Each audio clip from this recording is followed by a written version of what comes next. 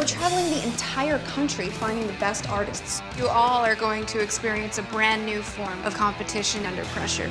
Oh, damn it, dude. Did you have a meltdown? We've got three great local artists. There's going to be two elimination tattoos. And one artist will move on to face off against one of us.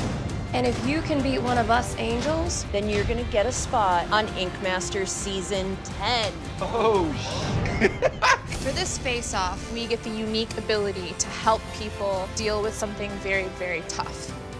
The canvases that are coming in today want to tell their story through their tattoos. Thank you so much.